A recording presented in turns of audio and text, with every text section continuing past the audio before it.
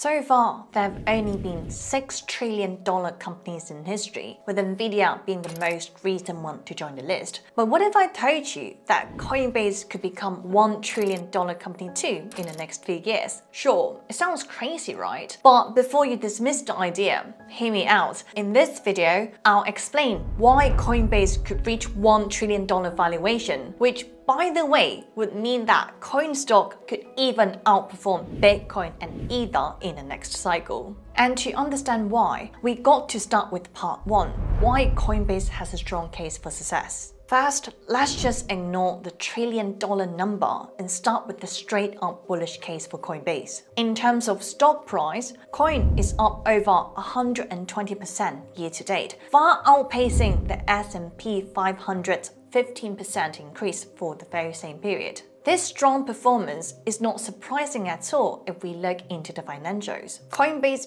beat earnings expectations by nearly 100 million in Q2, surprising analysts worldwide. Instead of the expected 628 million, Coinbase pulled in 708 million in total revenue for Q2, despite crypto still being in a bear market. This was also the first quarter where recurring revenue exceeded transaction revenue. This is a massive deal because one of Wall Street's long-term criticisms of Coinbase was that it was overly reliant on trading fees, which mainly comes during bull markets. Another positive sign is that Coinbase cut their recurring expenses by whopping 50% while still managing to roll out new products like Base. Not to mention, Coinbase went from a staggering $1 billion in quarterly losses last year to just 97 million in the second quarter of this year. It shows that the company is changing gears towards making profits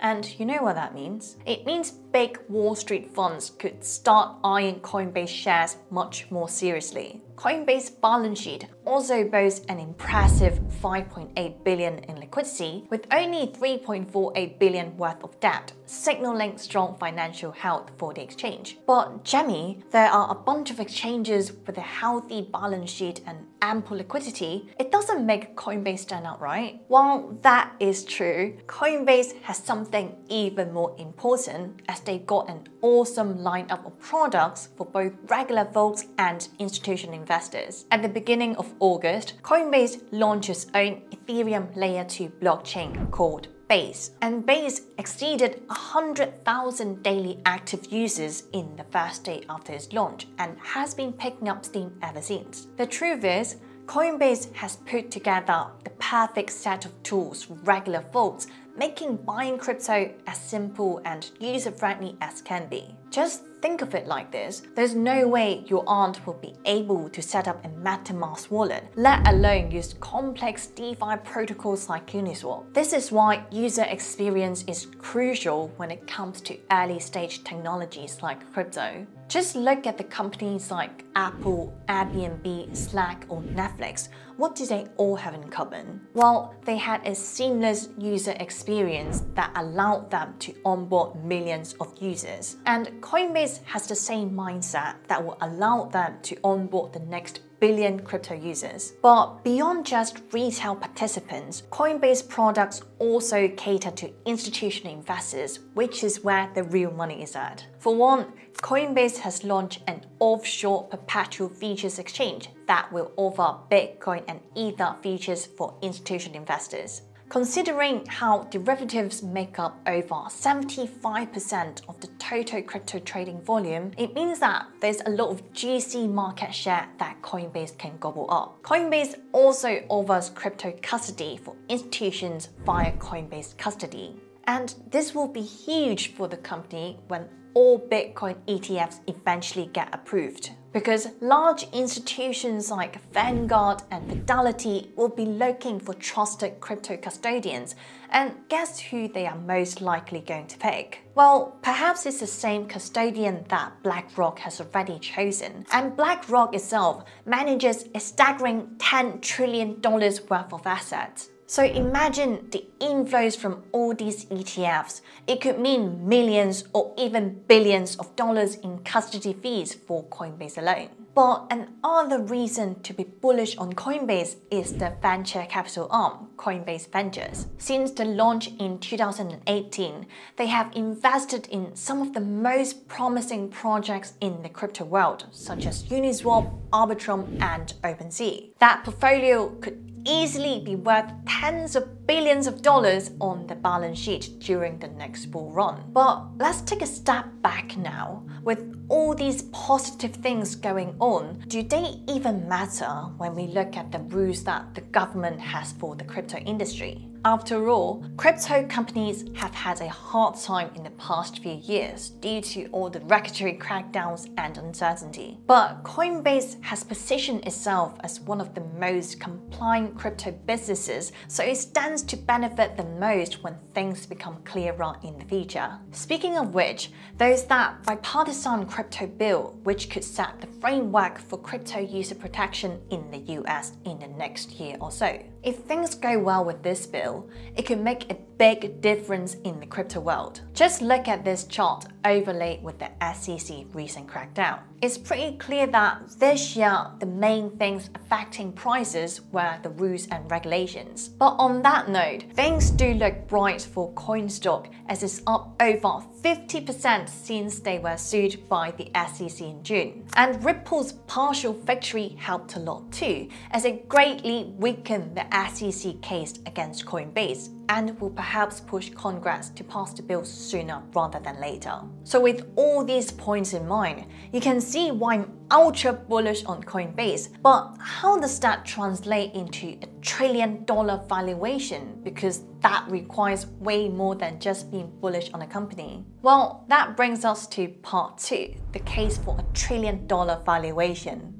Let's use Nvidia as an example again, because it's the latest company to reach $1 trillion valuation. In 2022, Nvidia's reached nearly 27 billion in yearly revenue during an AI bull market. Meanwhile, Coinbase was able to generate 8 billion in revenue in 2021 during the peak of the last crypto bull market. So the idea is to make a case that Coinbase can triple its peak bull market revenue in the next few years in order to match Nvidia's figures. Well, the first place for Coinbase to grab a lot of revenue is the international market with the new products like perpetual futures. I think Coinbase is well positioned to grab a lot of market share internationally as Binance is facing regulatory scrutiny from all around the world. As the current largest centralized exchange in the world, Binance generated over 20 billion in revenue for 2021, and Coinbase could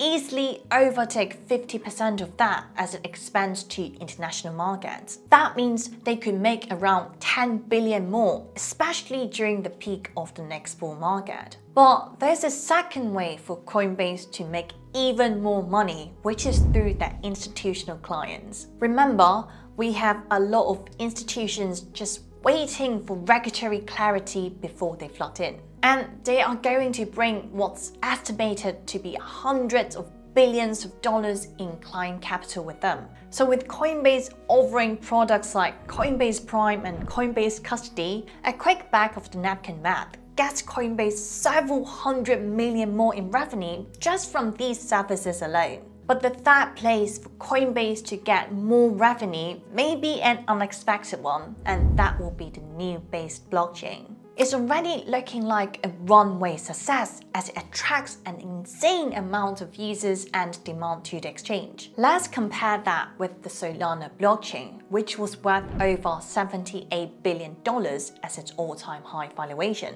Well, Base could easily become that valuable of an asset in Coinbase portfolio during the next bull market. And who knows, with regulatory clarity, Coinbase could even launch a base token, which would help them directly capture that value into additional revenue. But my fourth place for Coinbase to get even more revenue is just that current core business. In quarter three of this year, they expect to reach at least 300 million in revenue from subscriptions and services alone. Now, imagine what that will translate to when the next bull market comes and everyone is investing in crypto once again. I could easily envision them making a dollars or possibly more from services beyond just trading fees. But Jamie, does this really justify a 1 trillion valuation though? Well, given those four places for Coinbase to grab more revenue, I think it's super plausible for them to 3x the bull market revenue to match Nvidia's 2022 revenue,